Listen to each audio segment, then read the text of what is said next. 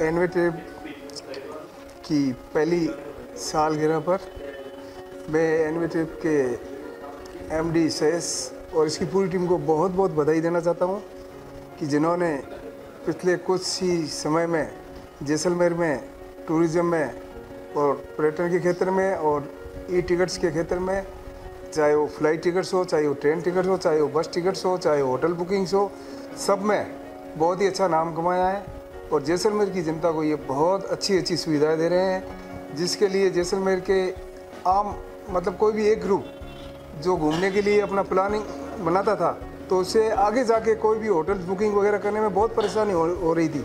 मगर वो सारी कुछ फैसिलिटी यहाँ एनवे ट्रिप की तरह माध्यम से यहीं पे एक छत के नीचे इनको दी जा रही है। तो ये जैसलमेर के आम इंसान के लिए, आम नागरिक के लिए बहुत ही अच्छी सुविधा है।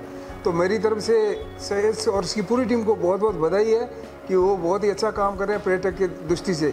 जैसलमेर एक विश्व में अपनी छाप छोड़ता है और पर्यटन की दृष्टि में जैसलमेर बहुत ही ऊंचाई पर है।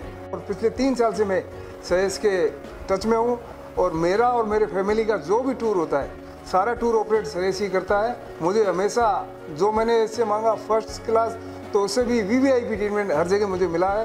तो इनकी आगे भी अच्छी सोच है और आगे भी इनका कॉन्टैक्ट बहुत अच्छा है, जिससे आम नागरिक को, आम पर्यटन को बहुत ज़्यादा सुविधा होती है और घूमने में जो बंदा घूमने के लिए निकलता है यहाँ से बाहर तो एक तरह से परदेसी होता है, उसका चाहे वो हिंदुस्तान के किसी भी कोने में जाए।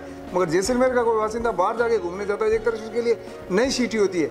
मगर उस सिटी में एक घर घर जैसा माहौल देना, उनके मुताबिक उनको सेवा देना, सर्विस देना, अच्छी होटल्स देना, अच्छे गाइड्स देना, अच्छी गाड़ी देना, टिकट्स, रिजर्वेशन, चाहे फ़्लाइट टिकट्स हो, चाहे एयर टिकट्स हो, मैं चाहता हूँ कि आने वाले नेक्स्ट ईयर में इनकी जो आज ये एक ब्रांच है आने वाले जैसलमेर समय में जैसलमेर में दो तीन ब्रांच और लगाए। क्या नाम राजस्थान की राजधानी में रोशन करना चाहिए?